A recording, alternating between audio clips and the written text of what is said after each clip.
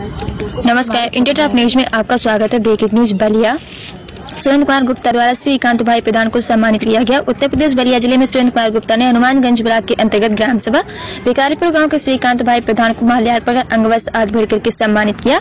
सुरेंद्र कुमार गुप्ता ने कहा कि वैश्विक महामारी कोरोना को देश से भगाने के दायित्व निर्वहन में लगी, उसी तरह श्रीकांत भाई लगातार लगे रहे। श्रीकांत भाई प्रधान को भव्य तरीके से सम्मानित किया गया। श्रीकांत भाई ने अपनी जान जोखिम में डालकर दिन रात मरीजों की सेवा की। इस दौरान सुरेंद्र कुमार गुप्ता ने कहा की कोविड 19 एक वैश्विक महामारी है। इसमें अपना जान जोखिम में डालकर देश की सेवा में अपना दायित्व निभा रहे कोरोना योद्धाओं का योगदान प्रशंसनीय है। हमारा नाम श्रीकांत भाई, प्रधान भिखारीपुर जी आपको आज चैनल द्वारा सम्मानित किया गया कोरोना वायरस को देखते हुए।